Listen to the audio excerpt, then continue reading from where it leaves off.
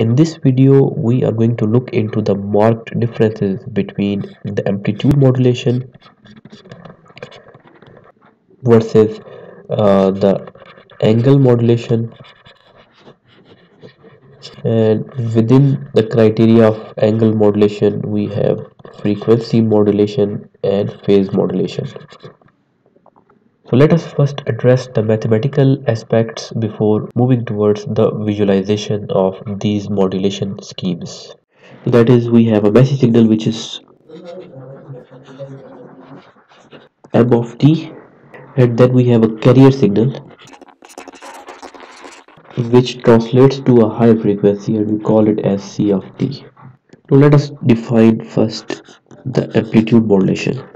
So amplitude modulation is simply an amplitude which is a function of time multiplied by this cos function. And we have carrier which is cos 2 pi fct plus theta naught.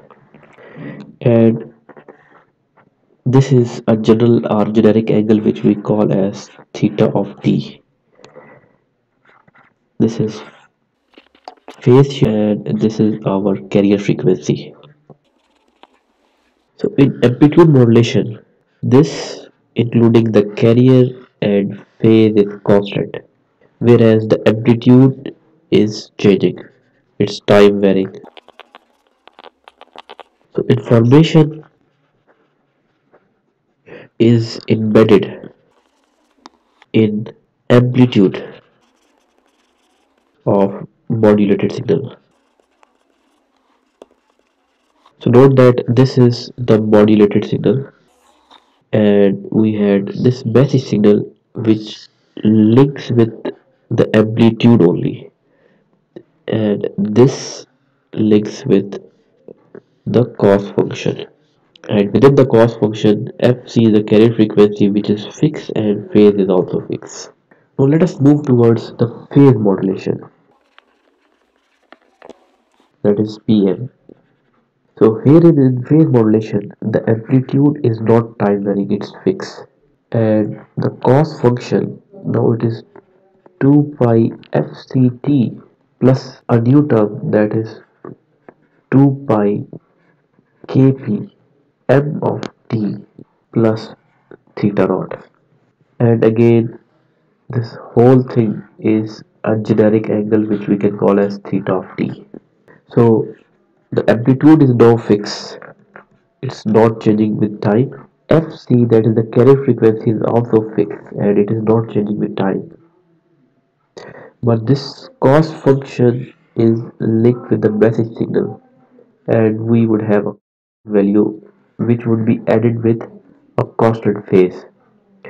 So in short we have a changing phase so this information is now in the phase so that is phase encodes the information of a message signal. Very similar to phase modulation we have a frequency modulation. That is fm and again we have a which is amplitude which is not changing with time. Cos function 2 pi fct plus another term which is 2 pi kf integration from 0 to t m of alpha d alpha plus theta naught. So again this is our generic phase which is theta of t. So let me introduce uh, a differential of this uh, generic phase. So I have d by dt theta of t and I scale it with 1 over 2 pi. So this is something which I term as fi and this is nothing but an instantaneous frequency. That is frequency at a particular instant of time. So if we differentiate this expression with respect to time and scale by 1 over 2 pi. So in the first term we would simply have fc In the second term, integration and differentiation will cancel out, so we would have a plus m of t multiplied by k of f right? And this is not changing with time so this would be 0 so this is our instantaneous frequency.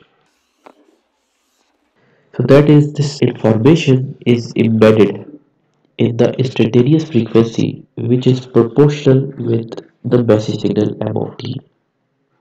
So in fm and pm these are the constants that we use. And they are called sensitivity parameters. So in pm we had kp and in fm we have kf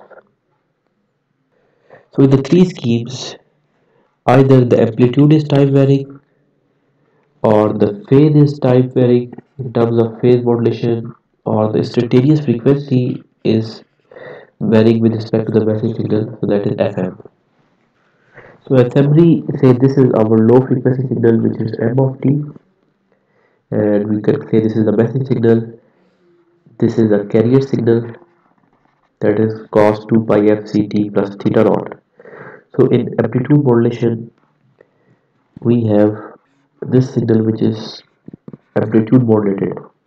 That is the information is stored in the amplitude of a modulated signal.